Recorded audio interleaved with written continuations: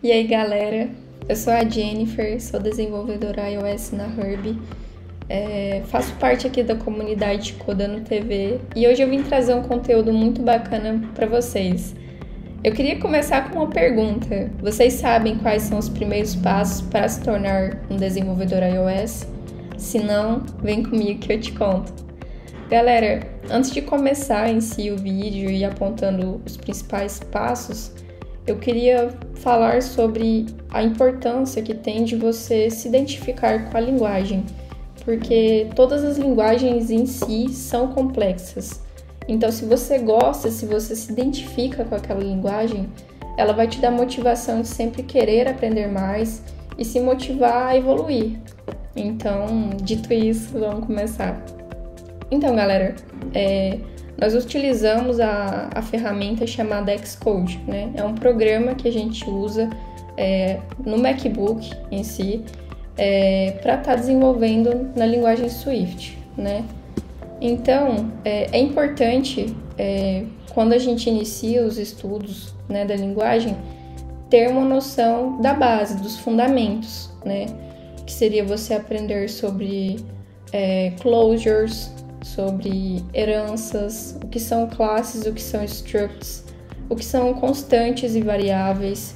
Toda essa base bem solidificada vai te tornar um bom desenvolvedor. E é, é sempre bom você reforçar isso. Então, entendendo esses, esses conceitos, você já vai conseguir desenvolver pequenos projetos. E mais pra frente aqui eu vou compartilhar com vocês, né, nos próximos vídeos, como dá, tá iniciando aí seus primeiros projetinhos. É, e sempre assim, galera, com calma. Não tenha. Eu sei que é difícil, mas não tenha tanta essa pressa de aprender a linguagem, porque é aos poucos, né? Então, aprenda um, um fundamento, aplica ele, é, vai utilizando ali o Playground, né? Que também, que, que também é acessível do Xcode. E tem vários outros aplicativos também que eu vou estar tá indicando aqui no vídeo para vocês, que vocês podem estar tá fazendo joguinhos, né, com a linguagem para estar tá reforçando esse aprendizado, né? Então, também é uma questão muito importante, porque assim, existe uma certa discussão sobre isso. Eu acho, na minha opinião, que é importante você iniciar estudando é, a questão do visual, né? Que seria a interface do usuário, em storyboard. Por quê? Quando você inicia com storyboard, né, que ele você utiliza segways, que você aponta para a tela seguinte, é, é interessante porque você vê ali no contexto visual o que está acontecendo. Você adiciona um botão, você adiciona um texto. Então, visualmente é melhor para você aprender. Mas tem o pessoal que gosta ali de estar tá desenvolvendo é, já de início em View Code. View Code seria basicamente você fazer tanto a questão da interface quanto da integração, tudo utilizando o código. É, assim, é legal, eu acho interessante. Quem tem facilidade, eu acho uma boa. Mas para quem está iniciando e não tem muito uma noção, o storyboard é ideal.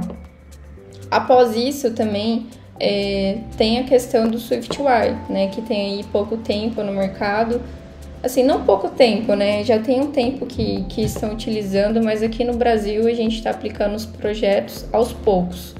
Porque quando você entra no mercado de trabalho, você acaba percebendo que existem projetos que são antigos, né? E aí tem uma parte legada, que seria utilizando a linguagem Objective-C, né?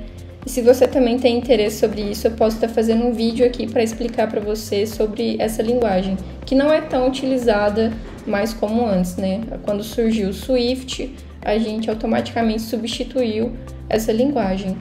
É, dito isso, também é importante você aprender ali sobre o life cycle, que seria o ciclo de vida do aplicativo, né? É, então, assim, quando abre a tela do seu aplicativo até o momento em que você fecha ele, existe algo chamado ciclo de vida. Então é importante você estudar sobre isso. Uma questão que eu também estou é, fortalecendo agora que seria os testes. Os testes são importantíssimos para você validar se aquela aplicação que você fez está funcionando da maneira correta e que não vai crashar o seu aplicativo, que não vai, assim, em algum momento que você apertar alguma tela, você clicar em algum botão, ele vai trazer um crash, vai fechar. Então, assim, é importante os testes para validar essas questões. E existem vários tipos também. Existem os visuais, existem aqueles que você faz sobre funções, né? Que você é, deseja que aconteça algo no aplicativo. Então, testes são fundamentais para você que está iniciando, assim como eu. Galera, e também sempre pergunte se você conhece alguém que é desenvolvedor é, ou não. Existem vários fóruns aí. Eu utilizava muito Stack Overflow, eu ainda uso muito porque a gente júnior, a gente que está iniciando, temos muitas dúvidas, né?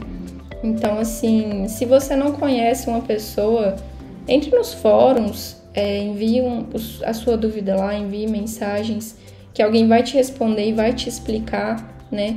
E é importante porque quando você tira essa dúvida, é um aprendizado afirmativo, né?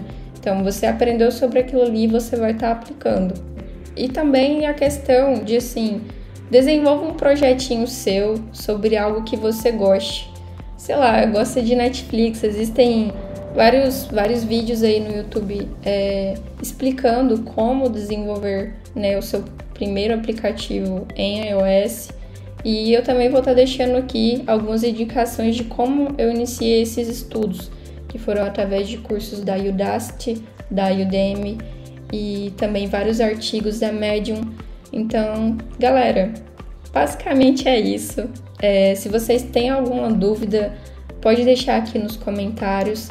É, traga também sugestões de vídeos que a gente pode estar trazendo para vocês é, é meu primeiro vídeo aqui, então eu tô um pouco acanhada. Já peço desculpa por alguma coisa, mas bom, é basicamente isso.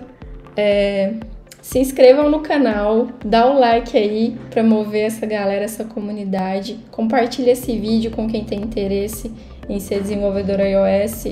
E tamo junto, pode contar comigo. É, vou estar adicionando também meu LinkedIn aqui embaixo. Quem quiser me chamar e conversar comigo, é só mandar um alô e tamo junto. Valeu, galera!